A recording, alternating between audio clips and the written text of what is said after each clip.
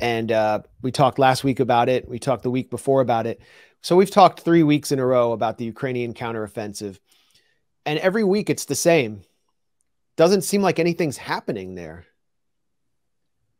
Uh, let's get that. For some reason, the tweet itself is like very small, um, but basically, what I'm saying, what I'm showing here is what Ukraine's counteroffensive has been going for about two weeks, supposedly. This is showtime. The U.S. has been pushing Ukraine to do this. They don't quite have the equipment that they say they need, or maybe they have too much of a kind of equipment that they should have never had.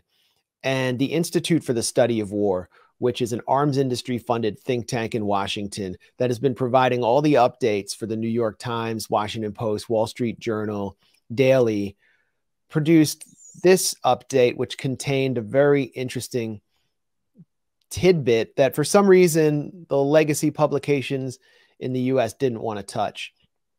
And it's that uh, Ukrainian forces may be temporarily pausing counteroffensive operations to reevaluate their tactics for future operations. Hmm, it's it's it's kind of like uh, you know, two weeks to flatten the curve. Now it's like uh, two weeks to get through the outer ring of Russian defenses and try to push uh, towards the uh, the land bridge, the, the Crimean land bridge. It's kind of kind of reminds me of March 2020 for some reason. And you know, if the Institute for Study of War is acknowledging this, it's not very good for you. This group, by the way, is run by Kimberly Kagan. She is the sister of Robert Kagan, who is the husband of Victoria Nuland, who is the former chief of staff to Dick Cheney. So you get the point. It's not looking good for the Ukrainians. And then we even have CNN, Jim Sciutto, by the who, by the way, was the former chief of staff to Gary Locke, who is the ambassador to China. So basically, Jim Sciutto interrupted his journalistic career for two years under Obama to work in the U.S. Embassy in Beijing. That's how connected he is to the State Department. And I guess you could probably deduce U.S. intelligence and the military. We have a totally different, well, yeah, early early stages of the Ukrainian counteroffensive having far less success, and Russian forces are showing more competence than Western assessments expected. Say all of the officials that Jim Sciutto serves as a stenographer for, um, but they're optimistic long term. I mean, it's important to highlight these sources because these are the cheerleaders who have pushed Ukraine to this point. Jim Sciutto has been one of the biggest cheerleaders for this military, the whole military operation. And it's important here to dis, to, to look back to the so-called Kharkiv counteroffensive, where Ukraine took a swath of territory around Kharkiv in eastern Ukraine and gave this injected this confidence and I would say hubris into the chattering classes in Washington, the Anne Applebaums who serve as the cheerleaders of this war, and I would say the, the Pentagon itself. But what actually happened there was Ukraine was taking advantage of its partnership with the US, US geospatial intelligence uh, to assess where the Russian weak spots were. And Russia had been guarding their position in Kharkiv with just a small, uh, a small attachment of tactical police officers, basically SWAT, a SWAT team, yeah. who were not heavily outfitted. They were outnumbered, and they organized uh, immediate retreat. Did not lose that many soldiers, and then Russia began positioning its forces on the, as they did after Kherson. They they continued to position their forces and harden their uh, defenses on the left bank of the Dnipro River. But in the US, there was this sense, and I mean, you got it in Washington, the sense that Ukraine could actually mount a much larger counteroffensive based on these previous successes. But what they're doing is totally different. They're not actually able to take advantage of Russian weaknesses because Russia is so heavily entrenched that there really aren't them, aren't aren't weaknesses, and they're running right into the teeth of Russian artillery, Russian minefields, and Russian anti tank weapons. And they're also facing Russian air superiority. Um, well, that's the thing. That's the thing about the air imbalance. Like even if you know nothing about military affairs, which you know applies to me, it's obvious that if you don't have control of the skies and you, Russia, where Russia has an overwhelming advantage, advantage, like what chance do you really have for a major counteroffensive if your opponent dominates the skies, uh, which you know is the case with Russia. Like that, that's the part that never made sense. And like I don't understand when they were planning this, how they intended to get around that. Obviously, maybe they thought they could overwhelm Russia with artillery, but even that doesn't make sense because Russia has the advantage there, as, as far as I know, from what I can tell. So militarily, it's like was the only sort of strategy here, which is to just throw as many bodies as possible into Russia and see see if it worked. Like it just it seems that way given the comments of like people like Lindsey Graham and Mitch McConnell. Like Mitch McConnell said recently, it's far cheaper for us in terms of American money and lives for us to fight and support like, for us to support Ukraine. So is that just basically all this is? It's just we're gonna just sacrifice as many Ukrainians as possible and see what comes of it. Because otherwise, I don't see what else could have been the strategy here. Well, they... Zelensky's saying uh, we're being very careful about not wasting lives. There is a rumor spreading around about a general mobilization, and uh, one of these organizations that never fact checks all the official lies fact checked that. And what they found was a major district in Kiev had put out a call for all men from age 18 to 59 to make sure that they're registered for service. And then they declared that this rumor spreading on pro Russian channels was misleading. Uh, but mm. the, I mean, you're going into the Obolon district of Kiev, which is heavily pop, one of the most heavily populated areas in the country, uh, calling for everyone up to age 59 to make sure they're registered. That does suggest uh, some level of desperation and that, you know, bodies are being lost unnecessarily, especially, you know, men in the prime of their life. Then you have Forbes, uh, not exactly the gray zone several powerful Ukrainian brigades are missing in action. This is referring to the 117th Brigade. Here's the 117th Mechanized Brigade with an AS 90 howitzer. Um, I'm not an expert. I think that that's definitely from a NATO state. I think it's from the UK. I'm sure people correct me in the chat, but they're getting a lot. I mean, this this brigade in particular is getting a ton of training from NATO states. They're getting a ton of wep- advanced weaponry from NATO states, and they're missing in action. Where is the Ukraine Ukrainian Army's 117th Brigade? The answer has implications for Ukraine's 18-day-old southern counteroffensive. So far, we've just seen three, maybe four of the brigades in action alongside older Ukrainian formations. The 117th Brigade is one of the missing brigades. Where it is, what it's waiting for, could speak volumes about Kiev's strategy as the counteroffensive grinds into its third week um, elements of the new 37th Marine Brigade outran its artillery support and lost several AMX 10RC reconnaissance vehicles. That really just speaks to the lack of uh, eyes in, in the sky. They don't actually even know where they're going. A battle group from a pair of new brigades, the 33rd Mechanized and 47th Assault Brigades, got mired in a, mount, a minefield and abandoned a couple dozen of its best tanks, fighting vehicles, and breaching vehicles. And of course, we heard from the Russia's MOD that close to a dozen Leopard tanks have been destroyed.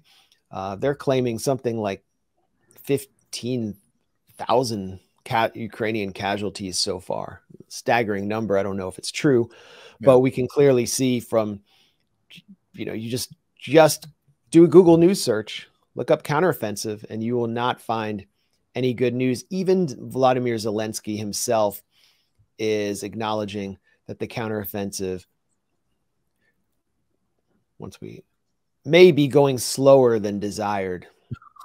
Jeez. And then he, he declares that the war is not a Hollywood movie after courting Sean Penn and Orlando Bloom and all these washed up actors at his office. As Putin announces, oh, Putin announces that, uh, you know, nuclear ICBMs, right? Uh, that's the Guardian for you. But you know, the Guardian, another huge cheerleader of this operation. Yeah. Not exactly spreading the good news. You know, what you say there about Zelensky courting celebrities, that does appear to me to be his government's like main strategy right now. Like forget military strategy. It looks like honest. I think they actually believe because the cult around cele- of celebrity around Zelensky is so strong that like other celebrities will be their salvation. So like look at this headline from the Wall Street Journal. Uh, it says this: Zelensky's number two turns to celebrities as well as politicians to help Ukraine. Like you're in the midst of a war that you say is for your survival, and your top Zelensky's top guy, Andrei Yermak, is talking like about courting celebrities, and that that's like what this article basically says. They go on to say um, that uh, one part of Yermak's plan, Andrei Yermak, Zelensky's chief of staff, is get celebrities from Latin America to visit Kiev as a raft of Western stars have done since the start of the invasion last year. And Yermak says, I'm against formal diplomacy. It's dead. It's a new time. Soft power. It's necessary. I need results. So he's following like the State Department line of soft power, which I mean, for the State Department, that also includes like coercion and sanctions. But it also here, in the case of your, it means like propaganda operations, including attracting celebrities. Like that's what you're thinking of right now when you're facing this uh, awful war and you're sending off tens of thousands of more people to die. You're talking about celebrities as, as if they're going to save you. Uh, that really, I think, is the level of thinking um, inside the uh, Zelensky government. And look at this line. This to me, this line is so telling to me. Yermak says efforts before the war to make a deal with Russia were hamstrung by a 2015 agreement concluded under Western pressure that handed Moscow control over parts of Ukraine. So they're talking about the Minsk Accords. And it's a false statement that Minsk handed Moscow control over parts of Ukraine. Minsk handed Ukraine control over the Donbass, its own territory.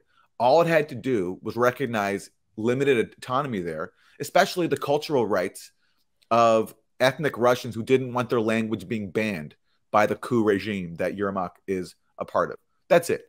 That's what they mean by giving by handing Moscow control. That means basically recognizing the rights in real life. That means recognizing the rights of ethnic Russians inside of Ukraine. And what's amazing is so this guy's saying that efforts to make a deal with Russia were hamstrung by a deal that they already reached, which was the Minsk Accords. So that's basically Yermak saying that uh, we couldn't make peace with Russia because we refused to live up to our own peace deal. That's what he's basically saying there. Imagine saying that we can't make a deal with Russia because they're insisting on us returning to a deal that we already made.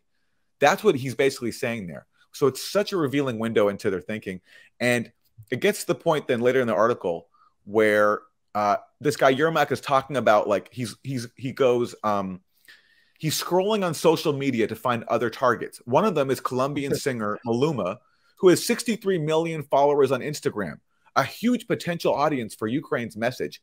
I don't know this singer, Yermak said. It's not my music, but we need him. Okay, so that's that, that, that's what Ukraine's one of his uh, top uh, one of Ukraine's top officials is thinking of right now is getting Instagram influencers to come and help them and save them. It's unbelievable. Well, it's also a lot like the Western equipment.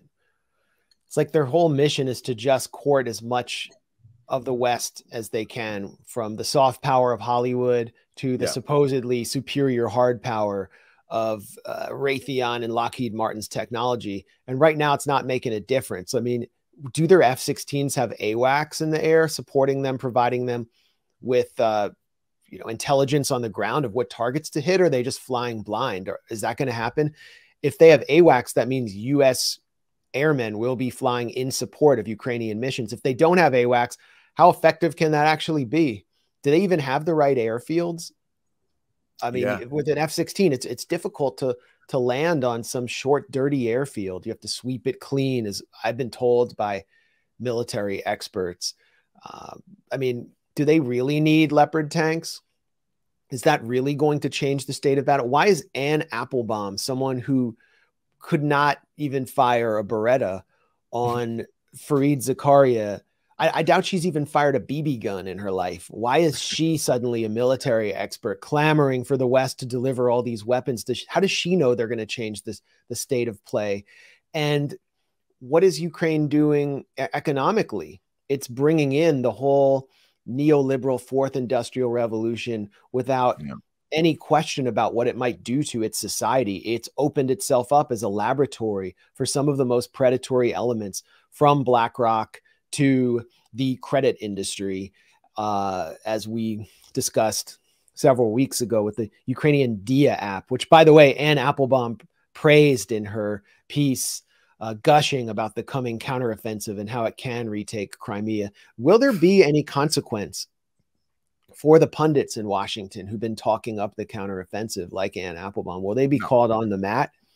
Uh, these uh, and th- th- this is blood on their hands. It's it's unfathomable how many uh, people there respond. Just like in Syria, remember um, when uh, Brett McGurk, the former U.S. envoy to the anti-ISIS coalition, he said that you know pundits in Washington who encouraged the dirty war. He said the people like Charles Lister, he said they have blood on their hands.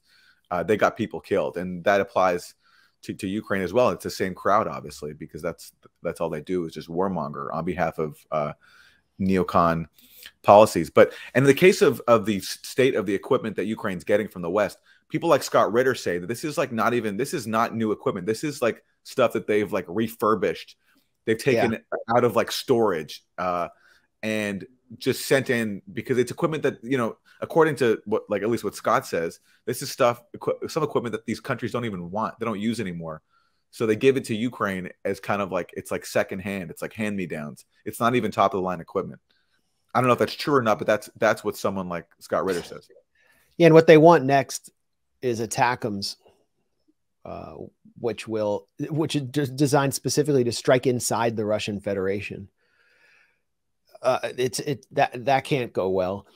Uh, we had a question about addressing the counteroffensive from Lloyd Austin's five angles. I don't know uh, what that refers to, but Lloyd Austin on the 15th, a week ago, said that the counteroffensive is going to be painful and there will be losses. Uh, Mark Milley said the same thing, and well, he turned out to be a prophet, but he claims to be confident. And what I've seen from Lloyd Austin, he's just saying whatever the Biden administration wants him to say. He's kind of oh, like of a political political appointee. Milley's kind of the same. That was confirmed by the Pentagon leaks, where yeah. we learned from that the Pentagon privately assessed that at best, at the very best, Ukraine's uh, territorial gains would only be modest, and that's in the best case scenario. They also predicted that uh, they also warned that it would not go well. That's what they were saying privately. In public, Austin was getting going before Congress and saying Ukraine has a strong chance of success. He knew that was a lie. So exactly, he was just saying what Biden wanted to hear. Milley, Milley called for negotiations last year, and then because nobody backed him up, and especially in the State Department, like Blinken and Sullivan, obviously Nuland were against any kind of diplomacy. He just backed down. He just kind of forgot that he had. He forgot that he said that Ukraine was in the best position back last year, like in the late fall, to negotiate then and that it wouldn't be retaking any more territory. So it had to consolidate its gains then and negotiate then. He just forgot about that because he's also ultimately a political actor. Absolutely. Um, we'll see what happens after this supposed operational pause. Uh, we'll see if the 117th Mechanized Brigade materializes. Uh, there's a lot of chatter right now about Yevgeny Prigozhin, the boss of the Wagner Group, making some extremely controversial comments about Russian defense chief Sergei Shoigu, blaming him for the invasion of Ukraine, claiming there was actually no threat to the Donetsk region, the Donetsk Republic from the Ukrainians. Uh, Pro Ukrainian channels are going bonkers with this. Uh, so is mainstream media. And there's some rumor of a Russian attack on a Wagner base. I'm hearing all kinds of chatter. We're going to have to address this next time, but uh, because I can't quite process it right now and make sense of what's what. Is it possible? Is it possible that Prigozhin is engaged? Uh, pure speculation. Is it possible he's engaged in some kind of psyop to make it look as if there's disarray inside the ranks of of, of the Russian military leadership? Because otherwise, I mean, especially what he was saying during Bakhmut, it just doesn't make sense to me how he could stay in that position and be so he's so harsh when it comes to the Russian military leadership. Or is this a genuine split? Uh, in which case, yeah, that's real. I mean, that's really significant if if it, if he's actually being straight up. But it's hard. I feel like one of these fake Kremlinologists, like Michael Weiss, wondering, right. is this Maskirovka? uh, but uh, you have to wonder it, though. It's like it's so strange. Like the stuff he's saying, it's if he's being sincere. That's. I mean, he also just accused. He said something about how he basically called out Russia's pretext for invading. He said that basically uh, Russia didn't have to go in. Um, which is crazy because he was a diehard supporter of the invasion initially. So I, I just don't get what he, what he's up to. Yeah, and a lot of people want me to say Wagner instead of Wagner, but I just feel weird saying it. I, I refer to the composer that way. Mm. I am a. I really enjoy Tannhauser, a people's chorus, when I'm in a dark mood. Uh, but uh, and you know, now I'll get accused of anti-Semitism for saying I like mm-hmm. Wagner. But in any case, yes, it is possible. It was a psyop. It's possible, given the record of Prigozhin declaring that his forces are pulling out of Bakhmut, that they've lost their supply mm-hmm. lines. Um, this was followed apparently by Ukrainian reinforcement, and then they were just blasted to hell and they retreated entirely from the city. And that was when the Wagner group claimed full control of Bakhmut. So, yes, there is a possibility there. I just don't want to be one of these Kremlinologist pundits. I just, I, I want to be sure of what I'm saying. Fair here. enough. Fair enough. Well, meanwhile, let's highlight one dangerous development where so this counteroffensive from Ukraine is going terribly. Everyone admits that. So what does Zelensky do? He comes out and he says this. We just had a report from our intelligence and from our intelligence and, and the security service of Ukraine. Same agency, by the way, that called for me to be banned from Twitter and asked them to hand over my info. So, you know, take that for what it is. Intelligence has received information that Russia is considering a scenario of a terrorist attack on the Zaporizhia nuclear power plant, a terrorist attack with radiation leakage. They have prepared everything for this. So, this warning from Zelensky comes right as they're getting their asses kicked in this counteroffensive. And yeah, I don't know if this is, I mean, at best, I think this could just be an effort to distract people from how awfully the counteroffensive is going for them. At worst, and this is just a possibility, this is an act of projection, and that possibly Ukraine is maybe crazy enough to do something like this and then blame it on Russia. I really hope that's not the case. But I mean, I'm hoping that this is just propaganda. They're trying to distract from uh, how badly the offensive is going. And they're not actually putting this out there in preparation for something that they might do. Because the okay, idea that, that relates to, sorry, go ahead. Well, it just also, again, this comes back to it's Russia that controls that nuclear plant. And we've been, there's been this farce going on for, I don't know, almost a year now, maybe more, where Russia controls the plant and the media reports that the plant is being shelled. But the media always, like the US media, always says it's unclear who's shelling the plant, but it's likely Russia. So basically, according to the narrative, we're supposed to believe Russia is shelling a nuclear plant that its own forces are controlling. And this is, you know, the latest part of that farce that, that we're supposed to just accept. Yeah and it's it's it's it's kind of uh, it would be nice if the IAEA would clear that up. They seem they're starting to remind me of the OPCW. Here's uh yeah. Lindsey Graham. Lindsey Graham, we got to fight this war down to the last Ukrainian. And Richard Denang Dick Blumenthal. I'm not he's not a member of my family, unfortunately, because I could at least like say something about this uh, at some reunion or something. I don't know. We don't actually have family reunions, but they have a Senate resolution saying any event in Ukraine which allegedly results in a dispersal of radioactive contaminants should be cause for invoking Article 5 of the NATO treaty and going to mm. war against Russia and Belarus, which has now uh, received tactical Russian nuclear weapons. So that would be a nuclear exchange if Belarus was threatened in an existential way. Here's that resolution. These are these are psychopaths who hold powerful positions as Republican and Democrat in the Senate. They're calling for essentially they're they're inviting a false flag operation around yeah. the Zaporozhye nuclear plant which was already threatened by the destruction of the Kakhovka Dam, which feeds its uh, coolant with um, its its its its coolant uh, capacity with water. Uh, this is an invitation for a false flag and a World War III.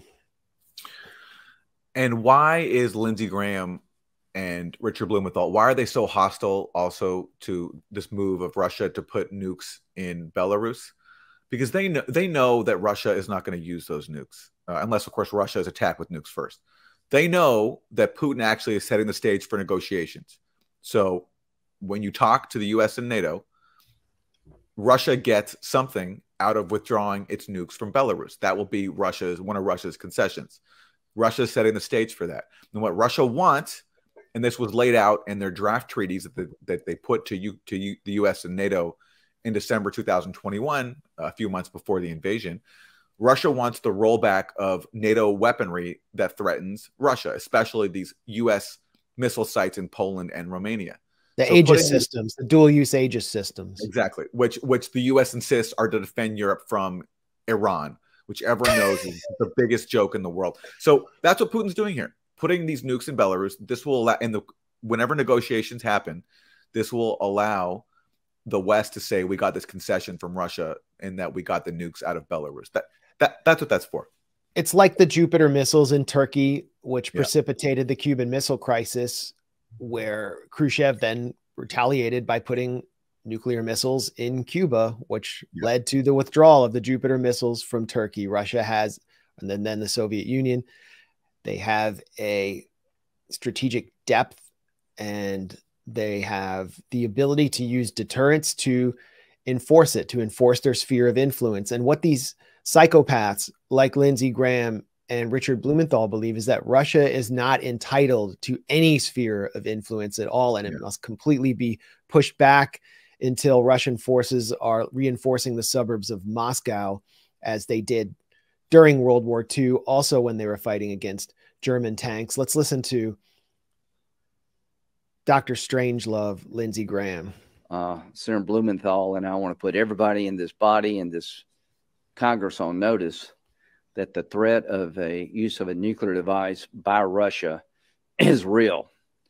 And the best way to deter it is this is the red line all over again to give them clarity, the Russians, as to what happens if they do that. They will be in a war with NATO. Poland is at immediate risk if the use of tactical nuclear weapons or destruction of a nuclear power plant causes radiation to spread, as almost certainly it would, causing significant human harm.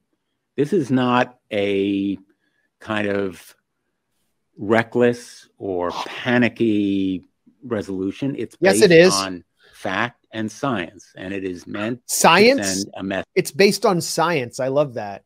Where did we? Where did he get that language from? Message to Vladimir Putin, and even more directly to his military. Right. They will be destroyed. they will be eviscerated if they use tacti- tactical nuclear weapons or if they destroy a nuclear plant in a way that threatens. There we go. NATO nation.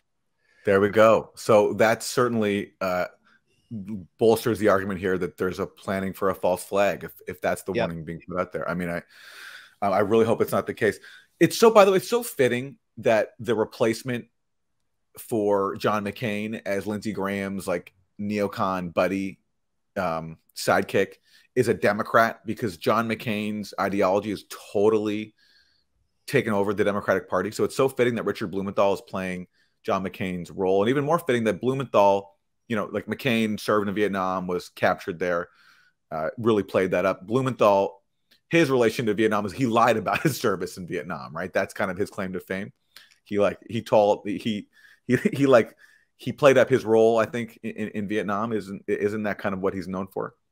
Yeah, he claimed he had got a Purple Heart that he never got. Right there we go. Yeah, he was wounded. So, yeah. So what a fitting replacement for John McCain as as Lindsey Graham's uh, neocon buddy. Well, yeah, John McCain's military legend was trumped up too, but he did suffer enormously in the Hanoi Hilton. What you know, you got this is the perfect portrait of the Beltway Uniparty. You got a Republican and a Democrat. They disagree strongly about abortion, um, and they support strongly. They stand united in favor of a post-birth abortion for humanity through nuclear weapons, uh, and they're both raking in the military contractor bucks. Um, you know, Ukrainians are suffering, and Ukrainian men are suffering and dying in this counteroffensive. The Beltway bandits that fund the campaigns of Lindsey Graham and Richard Blumenthal are not suffering. They're doing very well. We've got a piece coming out pretty soon showing how, which will show how well they're doing. We have done an unofficial audit of a mm. lot of the expenses that we, the U.S. taxpayer, are covering in Ukraine, and it's it's going right back here to some of the most corrupt, criminal-minded contractors you can imagine.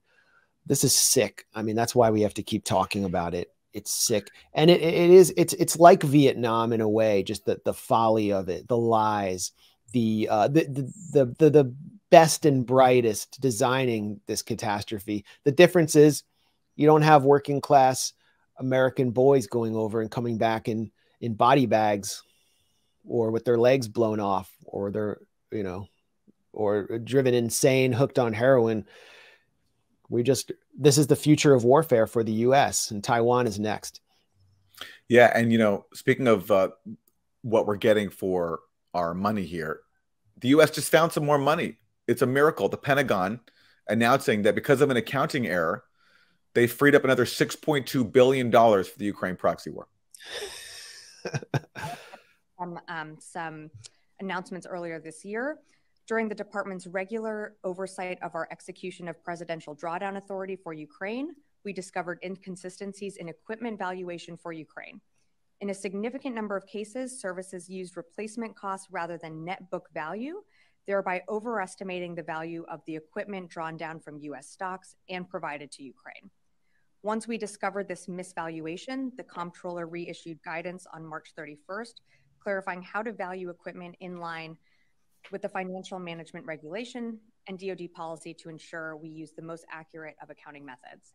Yes. We Confirmed that for FY23, the final calculation is $3.6 billion, and for FY22, it is 2.6 billion for a combined total of 6.2 billion dollars. Bam. There we go, everybody. Our it's, bad. It's, we just it's like when you thought you like like had some like money wad in a sock and you lost it when you were a kid. You'd like gives your allowance or you'd been doing yard work and then you find it like under your bed a, a year later and you're just so happy. Yeah.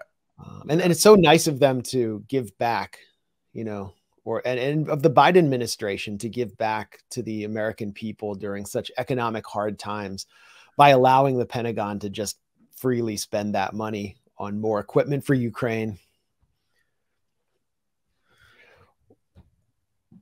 And meanwhile, I, I think we could. Yeah, go ahead. Well, let's. I think we got to move on. Just one more thing, because this happened yeah. this week. This have. I mean, there's so much Ukraine news, and there's so much we're not going to get to, unfortunately. But we have to get to this. Somebody's got to do it. Putin this week presented this document, which is he says was a copy of the peace agreement that Ukraine signed last spring, last April. And this is the latest piece of evidence that there was a deal reached between Ukraine and Russia in the early weeks of the war that could have ended it. The basic bargain was Ukraine would commit to neutrality, it would commit to limits on its armed forces and its weaponry that could be used to threaten Russia and the Donbass. And in exchange, Russia would withdraw to its pre invasion lines. And the issue of Crimea would basically be uh, left unresolved for, for it, it would be frozen. So Russia would, would keep Crimea. So Putin says this, that this is the document that, and he says that Ukraine signed it. he, he showed a signature. I haven't seen anybody argue that this document is a fake. Um, and it comes after a whole series of other sources, all of them NATO sources, sources close to Zelensky, the former Israeli prime minister, the Turkish foreign minister, and Fiona Hill, speaking to U.S. officials, all of them have said the same thing that there was a deal reached between the two sides. And, you know, a few of those sources, the Zelensky sources and Naftali Bennett, the former Israeli prime minister, and the Turkish foreign minister, all of them said the West blocked the deal. And so Putin now producing for the first time a copy of the agreement. I didn't see any reporting on this in the establishment media in the West. It just goes over everyone's heads. It's it's deemed unimportant, and it just underscores that all of this carnage could have been avoided had the U.S. and NATO and its far right allies allies in Ukraine just been willing to accept the the rights of uh, ethnic Russians inside Ukraine and accept some limitations on NATO, including in this case just keeping Ukraine neutral, so not expanding NATO into Ukraine, and that couldn't happen. They wanted to use Ukraine instead to bleed Russia, and this is the result we're seeing now. Well, actually, and this is kind of my fault, but uh, we asked the State Department about that, the legitimacy of that document mm. through our Washington correspondent, Liam Cosgrove, who's just been doing the Lord's work in the Pentagon and State Department, or the atheist Lord's work, depending on what you believe. Um, and he asked, um, what's his name? Patel. Um, I forget the spokesperson's name, spokesman's name. Um, but he asked him, it wasn't him. It was actually an African reporter who first started to emphasize that there was this negotiation put on the table by Putin, that Putin brought it up at the St. Petersburg Economic Conference. And she said, you know, it's very important. This war is hurting Africa very badly. Um, what about this? You know, what about this document? Is it true? Is it real? No, no, she wasn't saying, is it true? She just mentioned it. And then Liam, followed up and said, "Do you know that this, if this document, do you agree that it's real? Like, do you agree that it exists? Are you saying it's a lie?" And Patel just completely deflected. It wasn't clear if he was claiming that he didn't know it existed or that he didn't believe it was real or not. He just deflected completely and moved on. Um, yeah, whenever yeah, whenever I've written the State Department and the National Security Council about this, they've never denied that there was a deal reached. Uh, they've never denied it. They just and they issue a generic response that we we encourage diplomacy, blah blah blah. But they never deny it because it's true. There was. I mean, so many sources have confirmed it now, and the fact that the media, if Putin was lying, the Washington Post, New York Times will be all over it reporting on this. Putin says there was a deal reached. He even has a document that's a that's Russian disinformation. No, it's true. Yeah. So they have to ignore it. Yeah. Um, it's true, and what it means is that the, the West needed this war to go on as long as possible, the collective West, and especially the US, as Tony Blinken said, there are many economic opportunities after the detonation of Nord Stream. And as we can see, there's been a big boon in the arms industry and with the Beltway bandit contractors in Washington. And I think that it's really the Pentagon and Tony Blinken who's involved in business with these same forces through West Exec Advisors, which Victoria Nuland was also involved with. She was also the founder and president of CNAS, Center for New American Security, which was funded by the arms industry. Go on and on, but they have a vested interest in this war going on as long as possible.